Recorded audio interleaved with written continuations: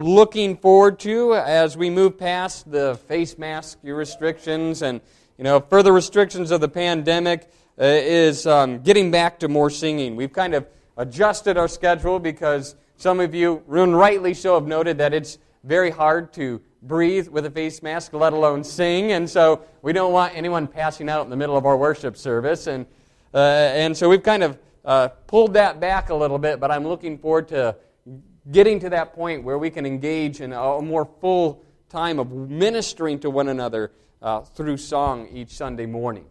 Well, this morning we're back in our study of lament.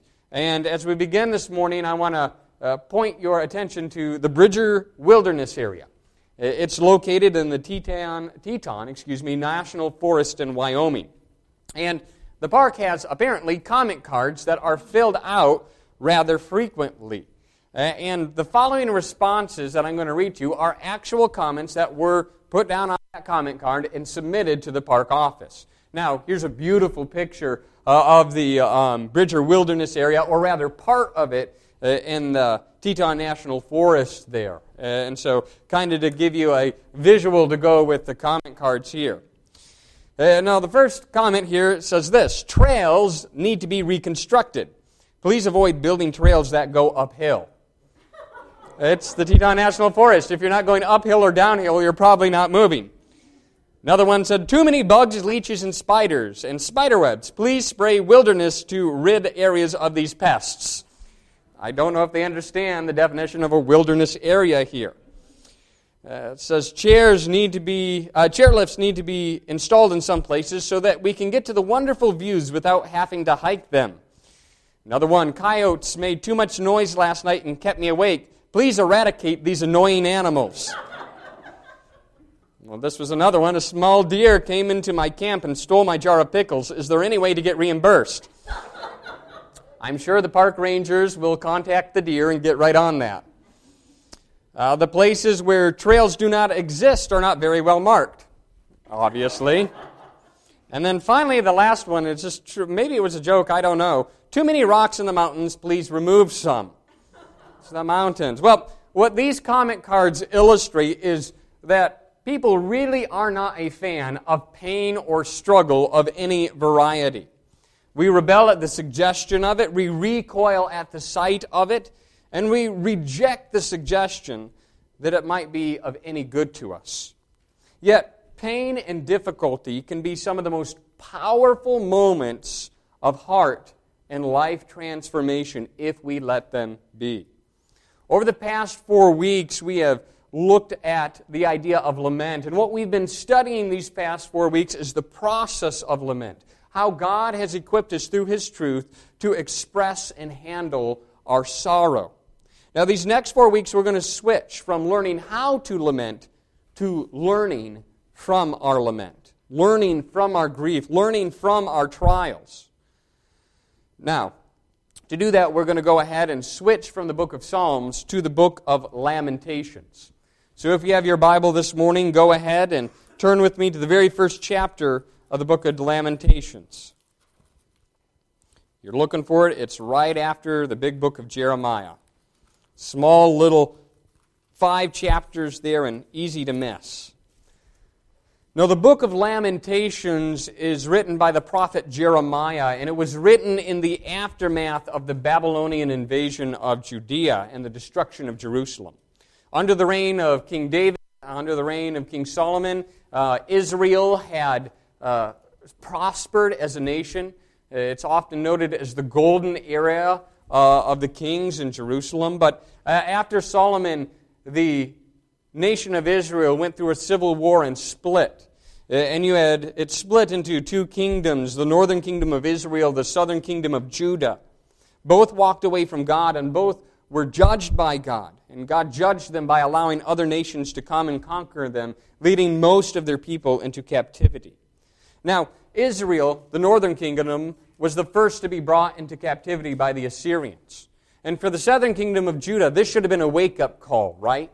This should have been the moment in which uh, uh, the people of Judah went, you know what? That is going to happen to us too if we don't repent of our sin and turn back to God.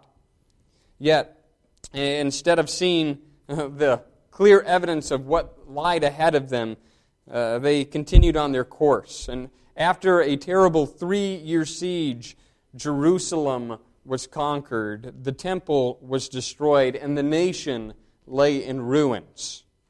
And so here is Jeremiah looking at a nation torn apart and really left decimated, and he is moved by God to write down these words of lament. Now, the theme of the book of Lamentations is wrapped up in its Hebrew title. And its Hebrew title is taken from the very first word of the very first verse, Ekah. It is a Hebrew question how or in what way? See, Jeremiah wants to have the Israelites look at this nation in ruin, look at their nation in ruin, and learn something. There is a lesson here that the people of Israel need to see, understand, and never, ever forget. Now, like Psalms, Lamentation is a collection of poems. There are five poems, and each poem is an acrostic. Jeremiah uses the Hebrew alphabet, and so each poem is segmented into 22 individual segments. Now, why he's doing this is more than just to be creative. Uh, what he's showing the people of Israel is that he is dealing with the whole of their pain, the whole of their suffering, from A all the way to Z. And what we need to understand as we look at the book of Lamentations is that this is not just Israel's story, this is our story that we're reading here. In this book, we're taught how to respond to our suffering and how we too need to learn from it. Now, I'm going to try to tackle this morning the first two chapters as one whole. And so, to do this, I'm not going to work verse by verse like I normally do uh, through a chapter. Rather, what I'm going to do is kind of parallel each chapter, looking at the major points that are repeated uh, between the two. And so, to begin this morning, look with me at the first verse of chapter 1, and then we'll switch over to the first verse of chapter 2. It says in chapter 1, verse 1 How lonely sits the city that was full of people! How like a widow has she become! She who was great among the nations, she who was a princess amongst the providences, she became a slave. Now, flip over to chapter 2 and look at verse 1 with me how. And mind you, this isn't uh, kind of just an observation. You know, Jeremiah, through this word, is wanting his people to think about this. How the Lord, in his anger, has set the daughter of Zion under a cloud. He has cast down from heaven to the earth the splendor of Israel. He has not remembered his footstool in the day of his anger. Well, as we begin this morning, let's start with the word of prayer, shall we? God, as we come before you this morning, uh, Lord, as we've prayed over the past weeks, we want to thank you that you are there to see our grief. We can bring it and express it to you, and you are there to give strength. You are there to guide us to yourself that we might grow in our trust of you. And Father, as we look at the example of Israel, may we see our own story of grief written in it. May we see how we need to learn and process biblically and rightly the truths that pain so often bring into our life. Father, we pray that you would challenge our hearts, transform our lives, that you would equip me as your, uh, your servant this morning to share your word in a manner that glorifies your name and draws people to yourself. We pray these things in Christ's name. Amen. Well, as we begin, I want to draw your attention to that word how and define its importance. As we mentioned just a moment ago, Jeremiah is asking this question, how, to draw his readers to think about the source and cause of their suffering. It is important that we learn to lament, but it is equally important that we learn from lament. I like the analogy given by C.S. Lewis as he talks about pain in his writings.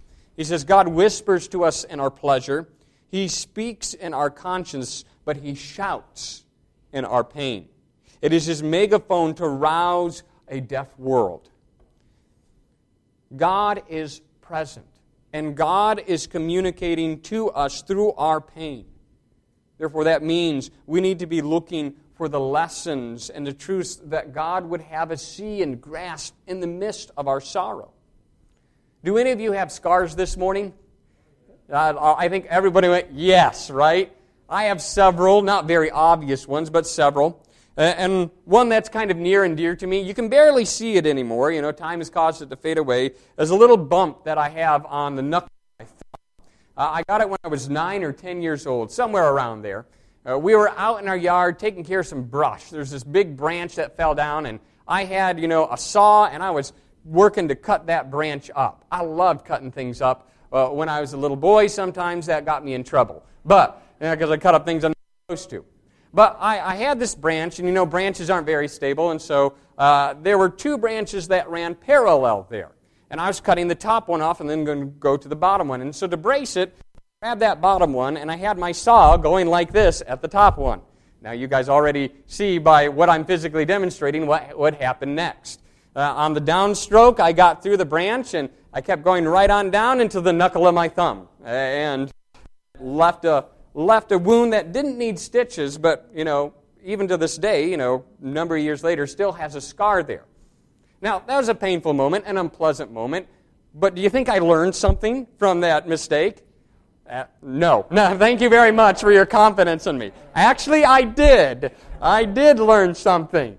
Uh, and I began to define the way I messed with saws and other tools in the future because I realized if your hand's underneath it and you're pushing down on it, it's going to go through to whatever's beneath that. Uh, and so, a painful moment, but a moment that carried with it an important lesson on safety that I needed to grasp. And by God's grace, our pain carries with it a great potential for growth. For growth. Uh, if you have your Bibles, you can look with me real quick at Romans chapter 5. Uh, we read this for our scripture reading, but I'm going to point us back to it again. Specifically, verse, uh, verse 3. It says, Not only that, but we rejoice in our sufferings. Why would we ever rejoice in our suffering?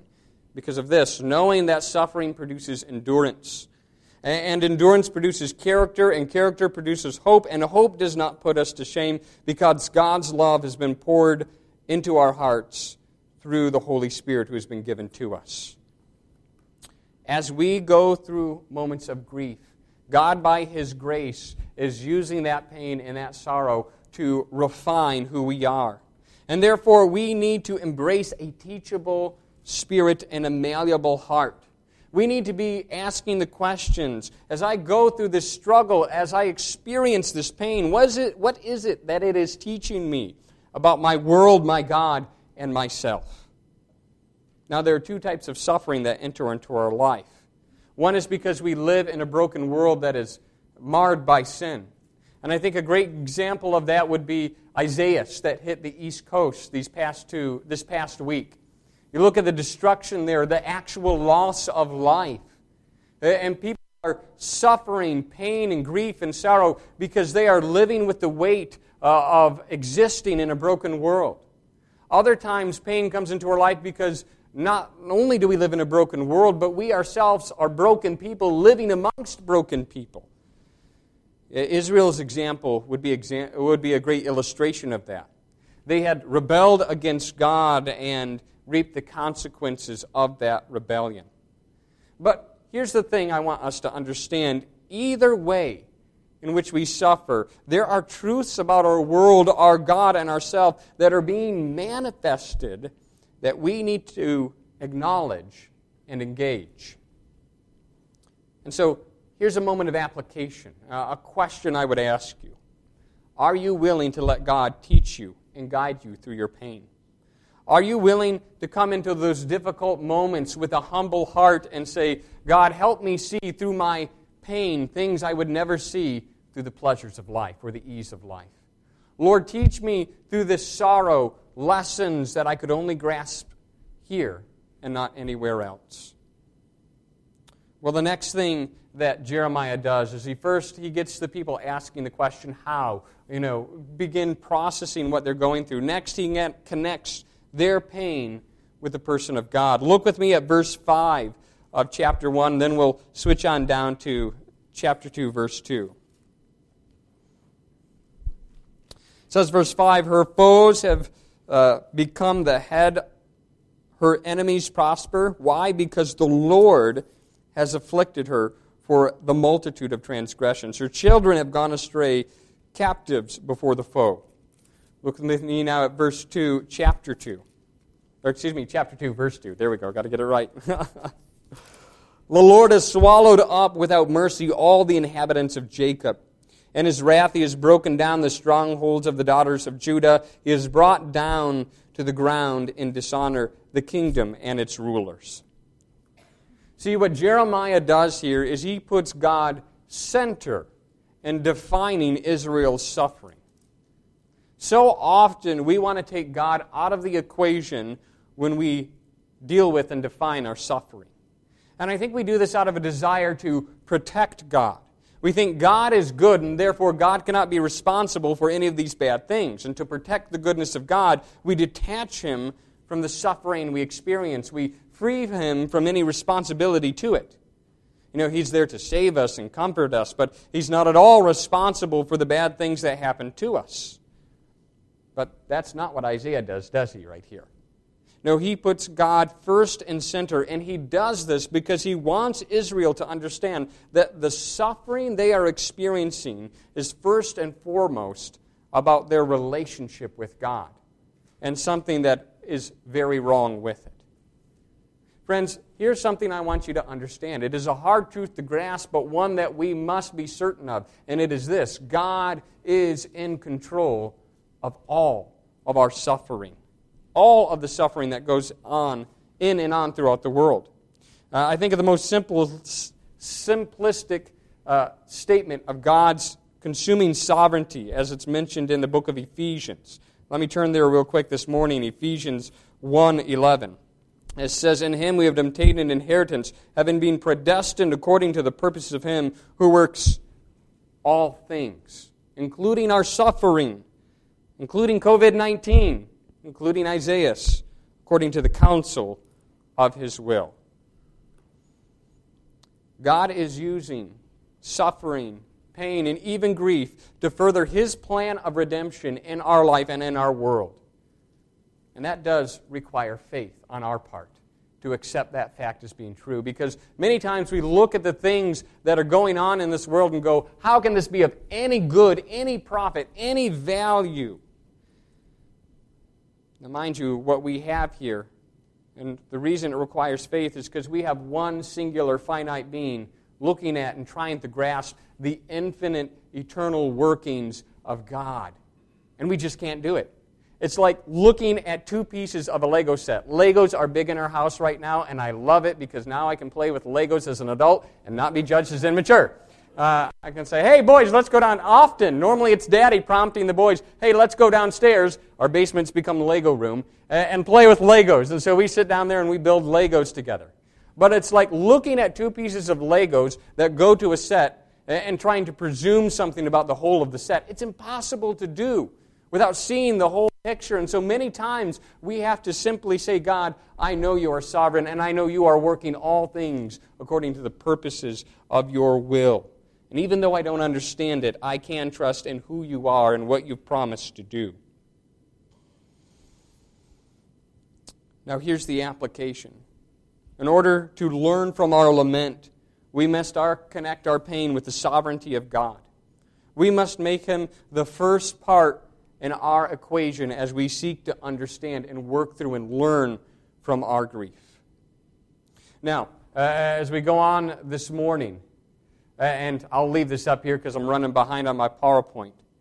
Uh, there's another, another step in the logic that Jeremiah leads us through here. We have Jeremiah's progression, he, progression here. He says, We have a problem. Why do we have a problem? Well, he goes, God is sovereign and he's ultimately in control over us. What then happened that God would give us over to our enemies? We see the answer uh, in 1 chapter 8 and 2.14. Go ahead and look there with me at verse 8 and verse 14. It says, Jerusalem sinned grievously. Therefore she became filthy. All who honored her despised her. For they have seen her nakedness, and she groans and turns her face away. 214 says, Your prophets have seen for you false and deceptive visions. They have not exposed your iniquity to restore your fortunes, but have seen for your oracles uh, seen for you oracles that are false and misleading. These verses provide us the answer to Israel's suffering. The people are facing judgment because of their sin. Uh, these people, even after repeated warnings from many different prophets, chose to remain rebellious towards God. Uh, and Jeremiah, uh, he paints this very graphic picture uh, that depicts for us the realities of Israel's spiritual status. He talks about an unfaithfulness of the people towards their God. It says, even the people look at sin and groan because they, they realize how bad they've messed up. They realize how big of a mistake they've made.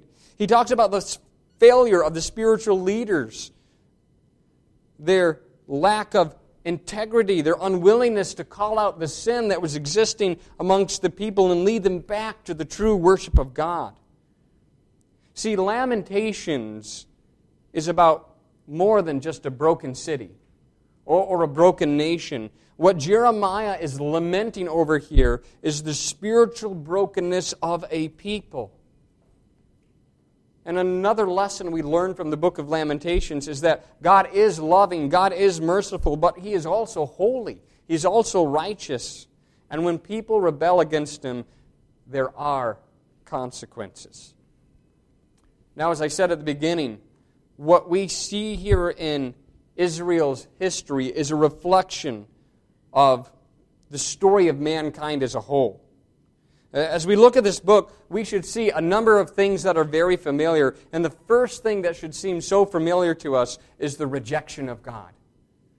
You know, just as Israel turned away from their God, so have each of us. Romans 3:12 says, "Therefore, just as sin came into the world through one man and death through sin, so death spread to all men because all have sinned." Romans 3 tells us just like Israel, each man has rejected God. It started with the first man, Adam, in the book of Genesis, uh, who chose willingly, volitionally, knowingly to disobey the instruction of God. But that rebellion that started there became, became innate uh, and natural to all those born after Adam. And so we all are born with this natural propensity and a desire to reject God and serve ourselves instead. And Romans 3 explains that there's been consequence to this. Just as Israel reaped captivity for rejecting God, so has humanity reaped consequences for their rejection of God. I like uh, the thought of one pastor, Mark Vroegop.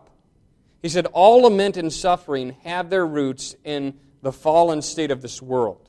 Lament interprets all suffering through the lens of the Bible's understanding of the problem of sin in this world. Romans 3 points us back to Genesis 3, where the first man, Adam, willingly rebelled against God, and the consequences of that choice resulted in a fractured world. It led to a breakdown in man's relationship with God. It resulted in a breakdown in man's relationship with one another. It resulted in a breakdown in creation itself, and pain and grief are reminders that we are living in a world that needs to be redeemed, that needs to be rescued from sin. Romans 8 20 says this.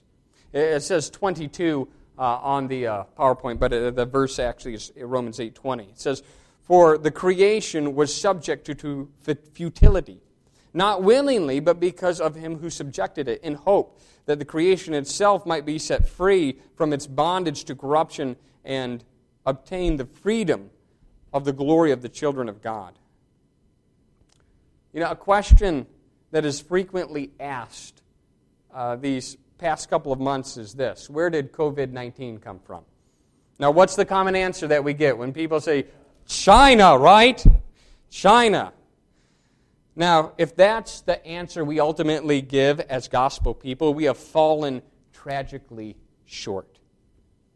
Friends, we must be pointing people to the source of all death and suffering in this world because this is not the first plague that has hit the world, and it is not going to be the last one either. So we must be pointing people beyond their momentary suffering to the deeper question that needs to be asked where does sickness and death come from? And we must point them to the Word of God, where it explains that it's rooted in man's rejection of God and the consequences that has come from it.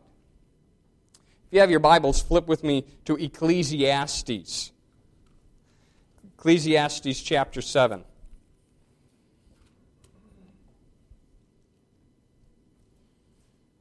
Ecclesiastes is like Proverbs, but without the upbeatness of Proverbs. It, for it has a much darker but honest look on life. And in verse 2, uh, let's read down through verse 4 this morning. It says, It is better to go into the house of mourning than to go into the house of feasting. For this is the end of all mankind, and the living will lay it to heart. Sorrow is better than laughter, for by sadness of the face of the heart it is made glad. The heart of the wise is in the house of the mourning, but the heart of fools is in the house of mirth. Solomon says it's better to go to a funeral than it is to a party. Wow, that sounds like a really fun guy to be around, right? You want to go to a party? No, I'd rather go walk through the local graveyard. Man, what happened, Solomon? You became a bitter guy in your old age. But why is it better to go to a funeral? Solomon says because it awakens us to the reality of our world, the destiny of our life, uh, the, uh, the fact that you're all going to die. And what pain does in our life, it awakens our heart to our need of a Redeemer and to be rescued from sin and death. You know, as we've gone throughout this pandemic, the world has had to face the reality of sickness and death in a way that it never has, at least within many of our generations. We've had to face the pain and the loss and the sorrow that comes from it. And for many people, this has been a time of awakening, just as it talks about here in Ecclesiastes. And we as believers should be at the forefront, helping people think through their pain. We should be doing what Jeremiah is doing here with the people of Israel, going, let's ask the question where did this all come from? Why is this happening? We should be driven by a heart of compassion to preach the truth about the world and what's really wrong with it. And let me pause here for a moment just to voice uh, a frustration with the church during COVID. Now, when I say the church, I'm not talking just Walnut Creek Baptist Church. I'm just talking about, uh, what I am talking about is like Christianity as a whole. So don't think like I'm just singling Walnut Creek out here. This is a common universal problem that I've noticed across the board. I think we've spent too much time mocking people's fear, too much time arguing about face masks, and not enough time lamenting the brokenness of our world and preaching the gospel to it. You know, we need to be working with people and explaining to people yes, it is hard to live in a broken world ravaged by sickness and death. And you know, if we make it through this pandemic without getting sick and dying, time itself will take your life from you. But you know, the Bible explains why we have sickness, why we have death, and the Bible gives to us hope for rescue and for healing.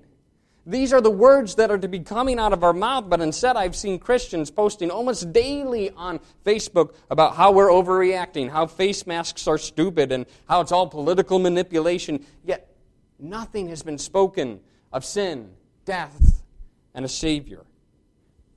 I believe there's been a lack of compassion on the part of the church, and that lack of compassion has led to a lack of lament, and that lack of lament has led to a failure to learn and help others understand what is being so clearly demonstrated to them in this moment about the broken world that they live in. Friends, we have been given one of the greatest evangelistic opportunities seen in generations there has been an awakening. The world is on its knees and lament.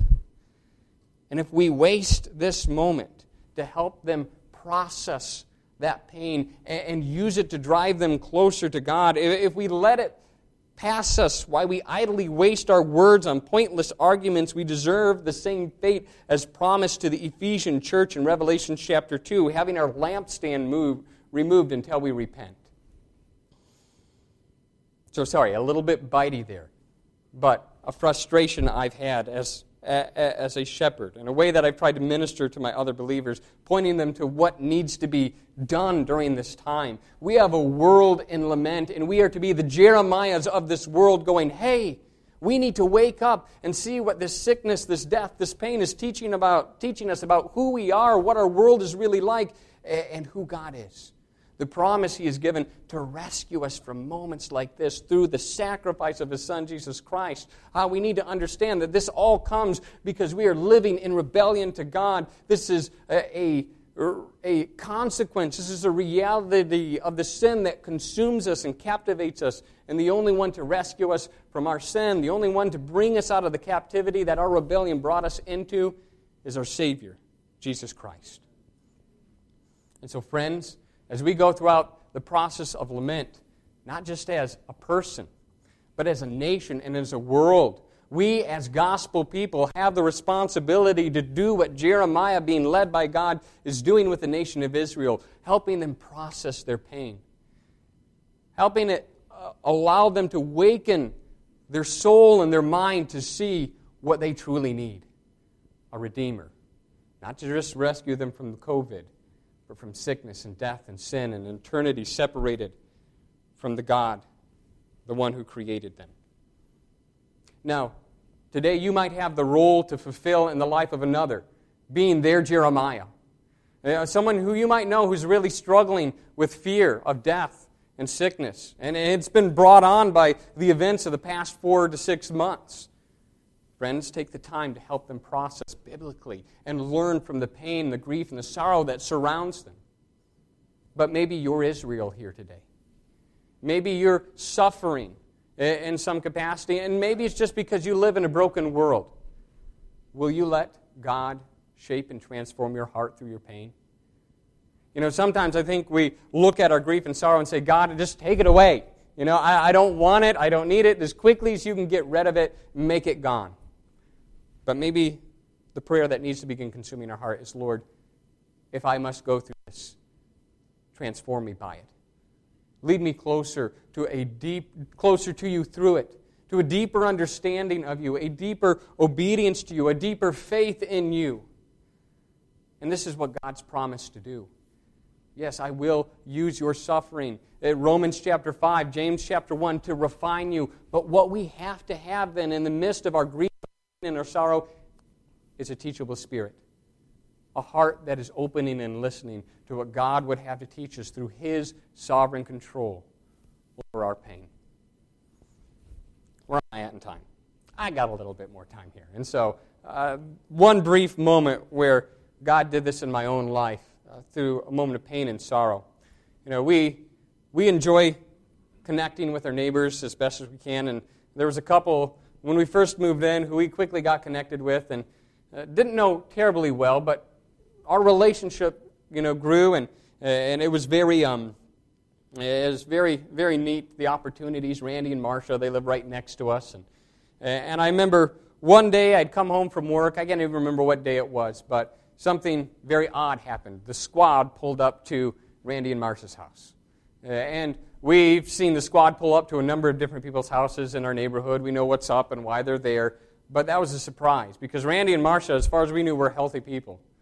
And I watched them roll Randy uh, out of the house into the back of the ambulance. We ran over immediately, asked Marcia what was up, and she said, I don't know.